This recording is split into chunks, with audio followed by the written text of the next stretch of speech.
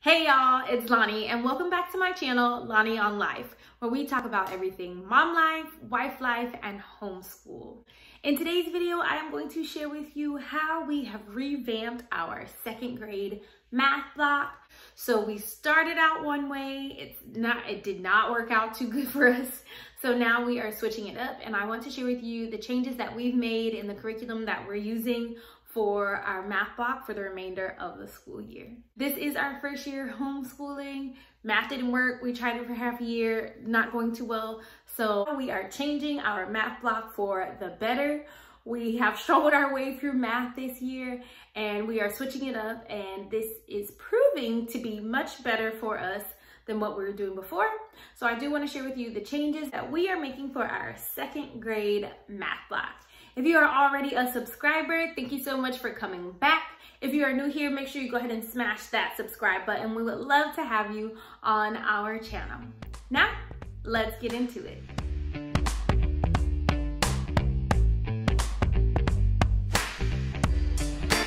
So in the beginning of the year, we started with Easy Peasy, All-in-One Homeschool, Brain Quest, Khan Academy, and Prodigy.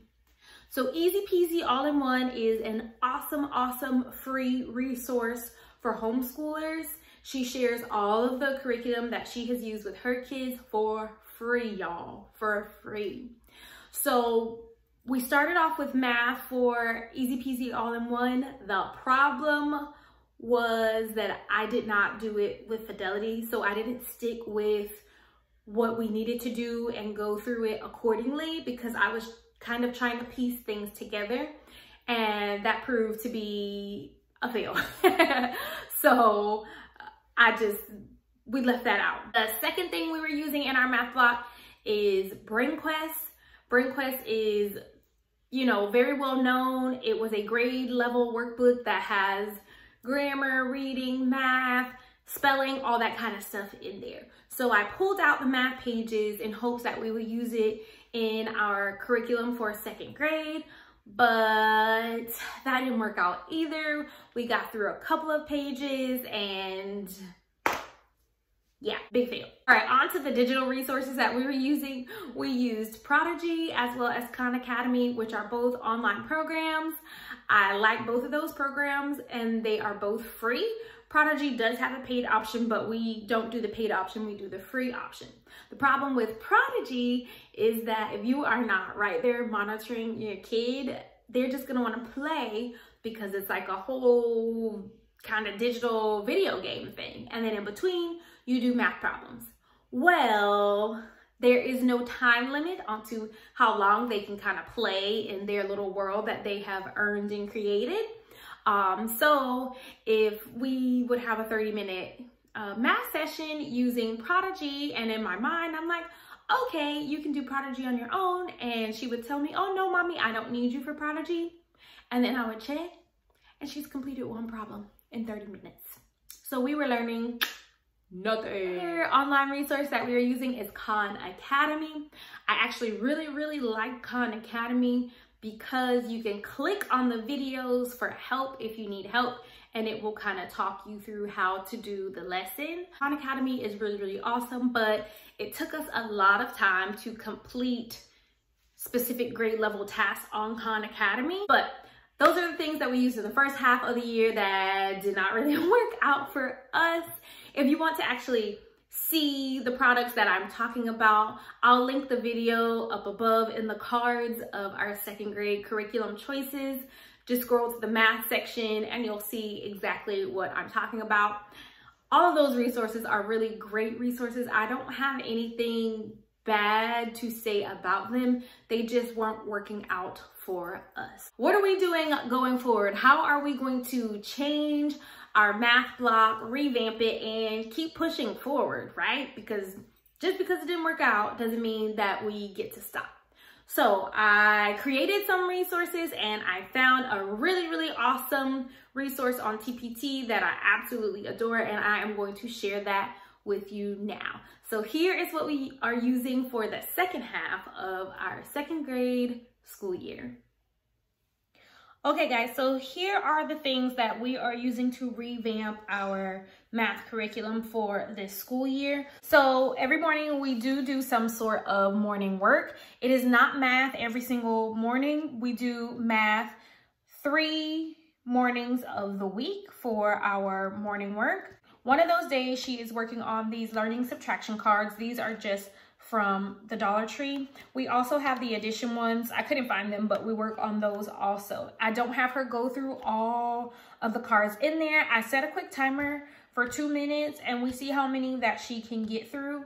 Um, and these are self-checking. So even if you want to set the timer for two minutes and have your child do them themselves, then they can just flip it on the back and check to see if their answer is correct and make two piles, correct and incorrect, okay?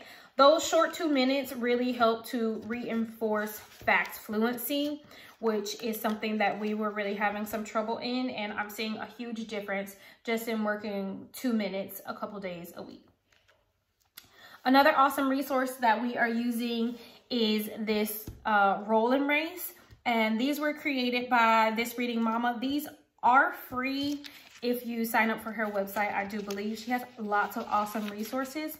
So there's three of them in here. And there's a lot more, but these are the three that we're working through right now.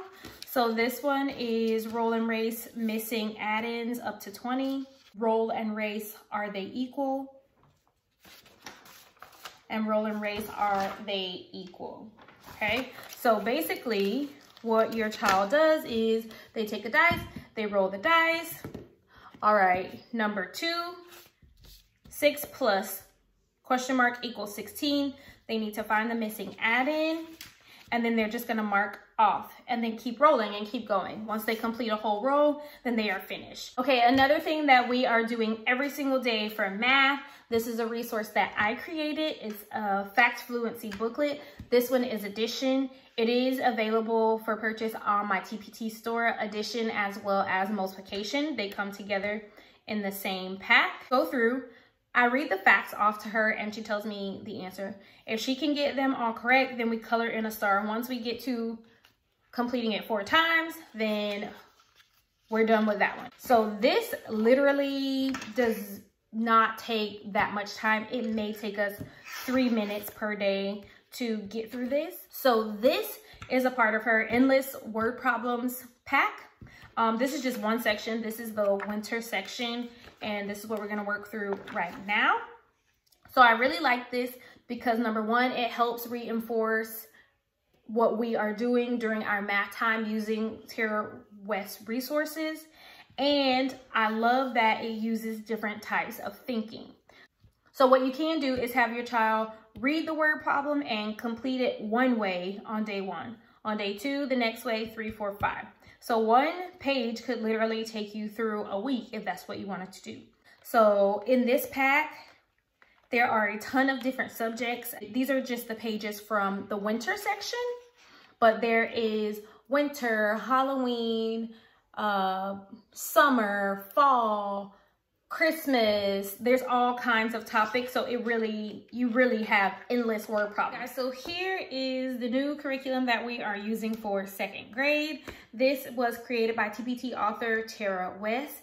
This is just unit three. She does have the entire year available, but I'm just gonna share with you unit three because that's what we are working on right now. Okay, so you get a second grade math scope and sequence. So this is actually the entire second grade math pack. So you can see what you would get if you purchase the entire thing. You are right here on unit three, two digit subtraction, and this should take approximately 10 days of, of instruction. All right, so you get a unit three table of contents. It tells you everything that's in there broken down by lesson. You get a look at the standards. Let's take a look at a lesson. So this is lesson 3.1. So in every single lesson, you will get teacher instructions. Now, it is set up for a regular traditional classroom, so you may have to modify a little bit. I only have one homeschooler, so when we come down to like group activities, her and I do them together.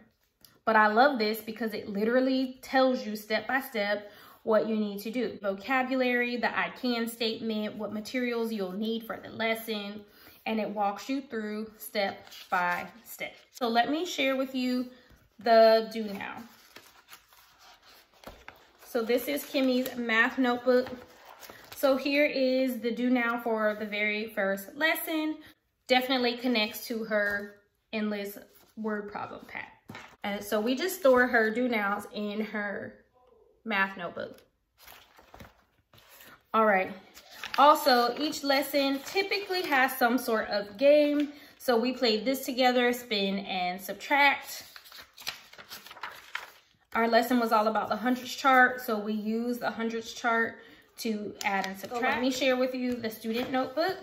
So it looks almost identical. Cover sheet. Here is what she had to do the first day for independent work. Now, we didn't sit down and do all of this in one day. We did uh, one line one day and one line the next day because I just want to build that repetition um, so that these lessons are sticking with her and she's not just doing it one time and moving on. The next day, so see, we didn't even do all of the open number lines, but she had the concept down pat because this is something that we've already done. So we just quickly moved on from there, okay? And then it goes on and on and on. So we haven't gotten here yet, but these are all the independent work sheets for the student. All right, also included in the teacher pack are the unit assessments. So this is the unit three assessments. This is a pre-assessment, and then there's also a post-assessment. So after you've gone through the entire unit, now you can check your students' learning before you keep going. If math is not your forte, there's also an answer key back here for the assessments. So those are the tools that we are using for our math unit. Again, it is going very, very smoothly. We have a little bit more of a traditional homeschool where we do have to sit down together and do things. She's not at the point where she can kind of just free flow. So here's everything that we're using. If you find some things that you like, definitely I'll link everything below. Go ahead and click it and grab some resources for your homeschool. Word about Prodigy and Khan Academy. We are actually still using those two digital resources but I definitely am limiting the time on Prodigy and Khan Academy. So to be completely honest, we were almost using those as the teaching tools and I was kind of expecting Khan Academy and Prodigy to magically teach her how to do math perfectly and how to get everything together. But I noticed a major problem when we would take what we have learned on the computer and try to transfer it onto paper, either via a word problem or just straight up numerical math problem and she could not translate it from the screen to paper. So it hit me that we were using the screen way too much and she really didn't know what she was doing because she could always use the help button on Khan Academy or on Prodigy to talk her through it. She wasn't struggling through it. There should always be some sort of healthy struggle when you're learning a new skill. So what I've done is I made Fridays Khan Academy Prodigy Day. That is the only day of the week that she is allowed to use that math program.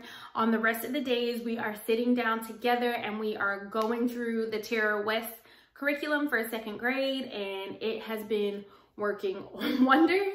There are a lot of skills and a lot of holes that she has that we are filling in with this curriculum and I am just so happy that it's working out and I'm so happy that we found it. All right guys, that's all that I have for you today. I hope this video was helpful and very informative for you, especially if there is a subject in your homeschool that you are kind of limping your way through. Don't be afraid to reevaluate and go to the drawing board. Like nothing is perfect. It may not work out. So just throw out the things that don't work and keep what is working and keep moving forward. See if you can find some other resources that can benefit you and your child in your homeschool. Make sure you leave a comment down below. Let us know what resources that you kind of had to get rid of for the year and what resources you are keeping. And I will see you in the next one. Bye. And guys, don't forget to check out my blog where you can find even more awesome content, lanionlife.com.